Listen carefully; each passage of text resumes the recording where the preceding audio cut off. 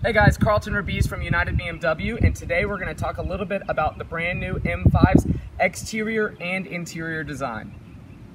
So the all-new M5 has a redesigned front end with larger air intakes, helping to supply the cooling system and the braking system with adequate air supply. Along with the newly redesigned side mirrors, BMW has fitted the all-new M5 with an all-aluminum hood to help to optimize weight reduction. They've also extended the lines visually from the hood to the extremely lightweight carbon reinforced plastic roof, which is a first for an M5. Now BMW has fitted the new M5 with a redesigned rear diffuser, side skirts, rear apron, and rear spoiler.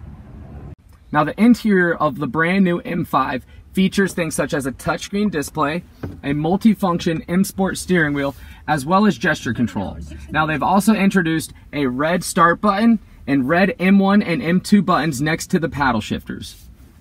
So the all new M5 interior is covered in merino leather and this leather extends to the brand new M multifunctional seats which offer optimal lateral support and even better support in the shoulder area. Thanks for watching guys. If you have any questions, come visit us at United BMW and stay tuned because we're going to have more videos coming out on the new M5.